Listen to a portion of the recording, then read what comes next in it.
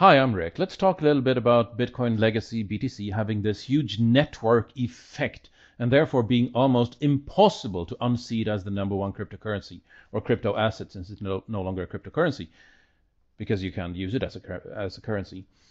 Let's talk a little bit about this network effect that is so mythological and so immense. The network effect is something that comes from Metcalfe's law. It was uh, devised in around the time of the uh, beginning of the Ethernet, and it states that the value of a network is proportional to the square of the number of users connected to that network. The key word in this context is users. Users.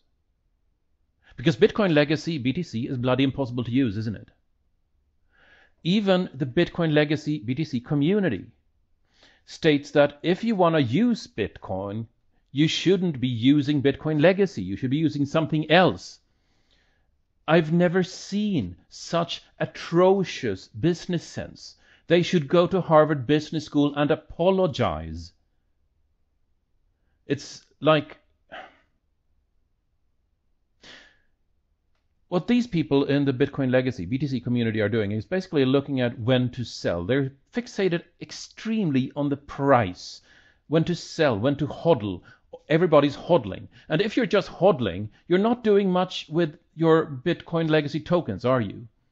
You're storing them in a closet somewhere to take out at an opportune moment to buy that bloody Lambo. That is not what using means. That does not contribute anything at all to the network effect. That does not create a network effect at all. The network effect is characterized by pain of leaving the network. If I'm leaving Twitter, if I'm leaving Facebook, then my utility goes down sharply because I can't join another network and get a reasonable substitute since I'm also leaving a number of users of that, that network behind the net effect of just hodling Bitcoin Legacy, BTC, is a number of people boasting about having MySpace accounts. But of course, they never log into the MySpace accounts because it's bloody unusable, isn't it? And so this community actually tells itself that no, you shouldn't be using my MySpace if you want social media. If you want to use it for something, you should be using Facebook. And then revel in how great it is to have a MySpace account revel in how great it is to be hodling Bitcoin Legacy, BTC, which is completely, completely unusable for anything.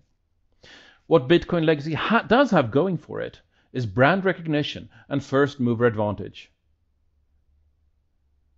Six Degrees was unseated by Friendster, was unseated by MySpace, was unseated by Facebook.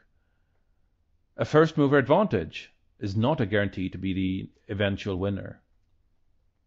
And brand recognition, well, there's another fork of Bitcoin now, Bitcoin Cash, Bitcoin BCH, which dates all the way all the way back to the Genesis block, just like Bitcoin Legacy BTC, and frankly has a lot more going for it in terms of usability. So, just to dispel this particular myth, and we'll be returning to this nonsense about hodling later.